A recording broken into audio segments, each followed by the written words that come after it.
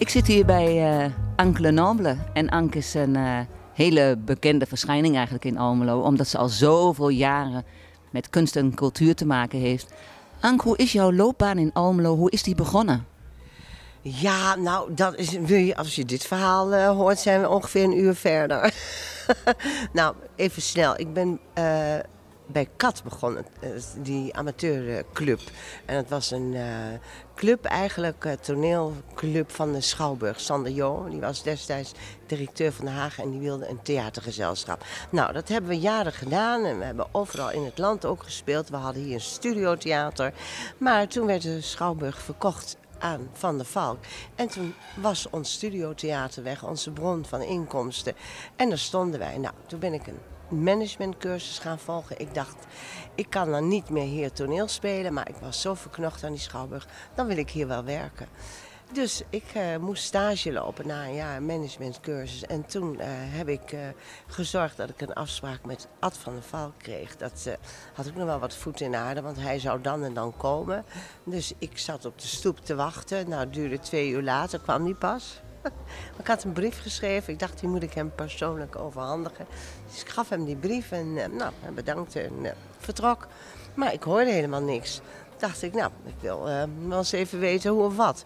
Dus weer Aniek den Hertog, die was toen de schouwburgdirecteur hier nog, gevraagd van wanneer komt Ad van der Valk weer. Ja, nou, van spreken morgen, zo en zo laat. Ik weer op de stoep zitten.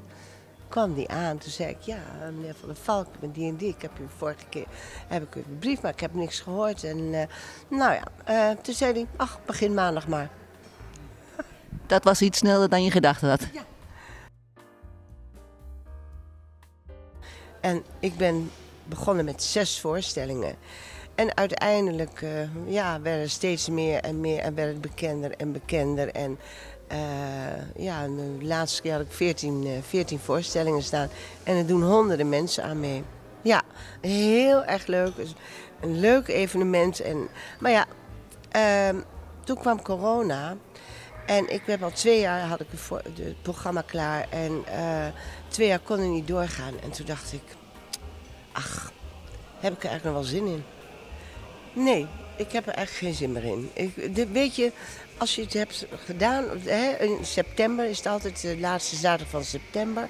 En dan heb je zo'n uh, ja, adrenaline en dan ga je gelijk weer door. Het was zo leuk. Oh, we gaan weer volgend jaar. Maar na twee jaar, die adrenaline was weg. Ik dacht, ik vind het goed zo. Dus ik stop ermee. En toen kwam theatergroep September. En die hebben contact met mij opgenomen en gezegd van, mogen wij het overnemen? Ja, ze zei, dit is zo'n leuk evenement, dat mag niet verloren gaan, dat moeten wij en wij willen het heel graag doorzetten. Dus ik heb ze uh, redelijk op pad geholpen, e-mailadressen gegeven, een lijst van artiesten, verteld helemaal, verteld hoe het in zijn werk ging, bla bla bla. En uh, ik moet zeggen, ze hebben het fantastisch gedaan. Wel op hun eigen manier, op een andere manier, maar het is hun manier.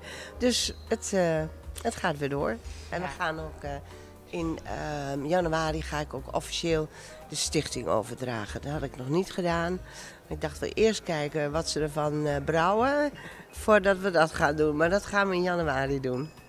Ja, maar ik hoorde iets op 17 december. Dan staat er nog iets op programma. Ja. Ja, dat wil ik als laatste doen. Ik ben een enorme fan van Gerard Alderliefste. En die treedt vaak alleen op, soms met twee, maar nou of tien een troep van acht vocals, uh, toetsenisten zitten bij, violisten, acht muzikanten, heeft hij een programma Une Belle Histoire. En hij vertelt en zingt en allemaal Frankrijk, Frankrijk. Uh, ja, superleuke nummers. Ik dacht, oh, die ga ik, uh, die wil ik nog even voor mezelf uh, hebben, zal ik maar zeggen. dus ik heb, ik heb brief rondgestuurd, mail rondgestuurd en en ik heb een hele leuke locatie, de Business Club uh, van Heracles. Sandrine die beheert dat. We hebben een mooi stuk afgeschermd. En daar zijn mensen welkom om half acht. Half negen begint de voorstelling tot tien uur. En dan nog een drankje tot half, half elf, elf uur. En dat is dus inclusief drank en borrelhappen. Dus met aan tafels. Je kan een tafel van acht of een tafel van zes of een tafel van tien of twee een tafel van twee. Gewoon ja, een beetje voor de kerst. Dat, uh, dat ga ik doen.